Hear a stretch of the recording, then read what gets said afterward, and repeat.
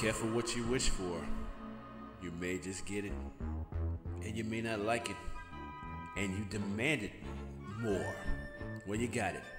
Here's five more scary locals for you. Enjoy.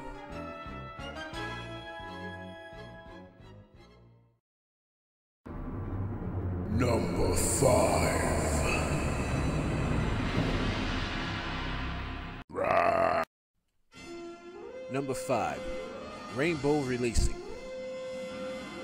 If I'm going to use the face of my company, I'm not going to use some asshole I don't like.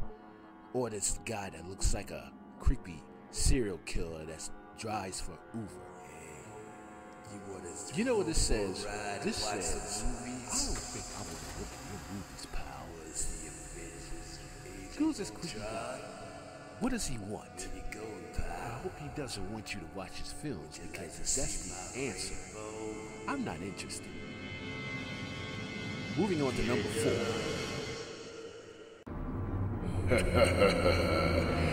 Number four. Number four, Paramount Television. It's bad enough I had to sit through that god awful TV show Vinyl, which started off good and it just got stupid. Now I'm treated with a new logo that looks eerily similar to the logo they used back when they acquired Desilu in, what was it, 67, 68? Oh well, who cares? It just looks foreboding. It looks like place where you don't want to be trapped at late at night with a bunch of coyotes trying to kill you. Or some creepy guy in a Winnebago who wants you to camp with him. Or some cannibalistic nearly wells dare that's hunting for raw flesh. Everything about this logo is creepy. But that's Paramount for you. They love creepy logos. Look at the Closet Killer one. Okay, moving on to number three. There's no escape, please, from number three. Number three. Viacom's V of Doom.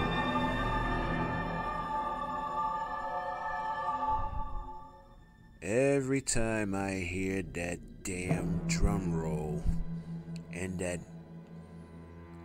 bizarre keyboard accompaniment that goes with it, it sounds like if Satan had a NBA team and the house lights went off.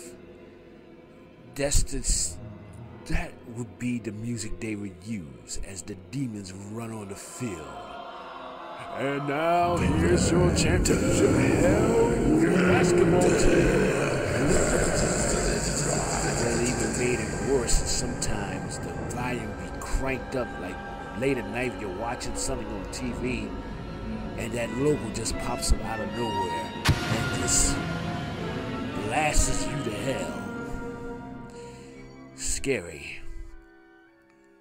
Moving on to number two. Terror awaits you at number two.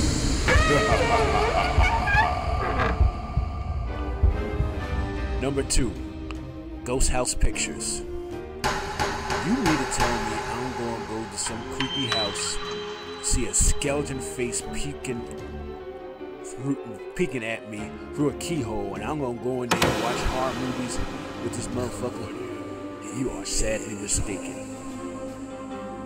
When I first saw this logo, I thought the movie was starting. Because everybody in the movie jumped. They was like, ah! And then when they saw it was a logo, everybody started laughing. Too bad the only thing scary about the movie was that logo. No thanks. I'll just stick to staying at home watching old Doctor Who episodes. But your dumb ass wanna go in there and watch some spooky horror movies with a skeleton face peeking at you through a keyhole, you're more than welcome to go. Just make sure Donald Trump goes with you. And now, number one.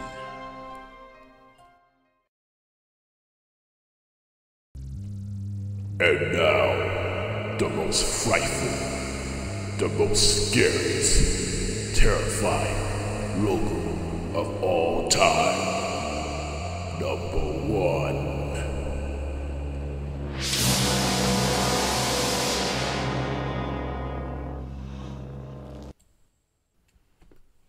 Vid.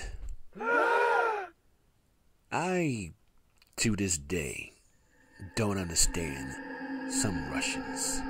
To me, they're bullies. I mean, Vladimir Putin said some very racial comments about Obama. Donald Trump loves him to death. And the only thing they want to do is terrify Ukrainians. And I have nothing against Ukrainians, especially this one right here. but I digress. It had to be a lot of vodka involved with making this logo.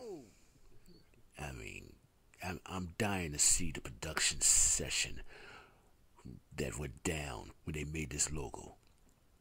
Now, what we're going to do, we will have ball roll online and they will show a picture of my beautiful ogre. Isn't that a brilliant idea? Fuck. No, that's not a brilliant idea.